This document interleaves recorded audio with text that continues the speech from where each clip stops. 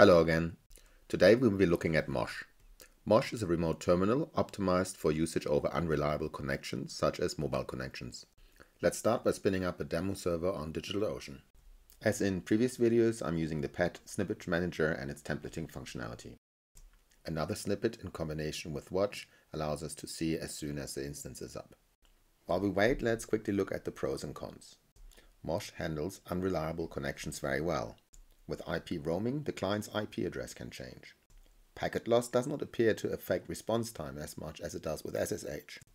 Local echo creates the illusion that the connection is alive when in fact it isn't. When compared to SSH, however, Mosh doesn't sport as many features. Also, Mosh relies on dynamic port allocation. This makes Mosh harder to use with firewalls.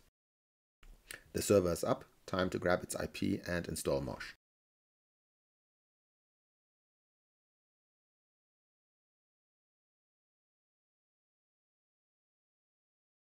Before we continue taking Mosh for a spin, let's start Tmux. And now we simply replace the SSH with Mosh. Let's edit a file and test how resilient Mosh is to poor network connections. I'm opening a new Tmux pane and disconnect the network.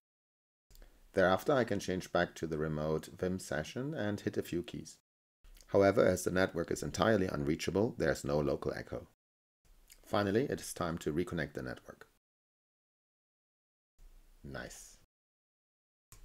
If you enjoyed this episode, please like and subscribe, and I see you next time. Bye bye.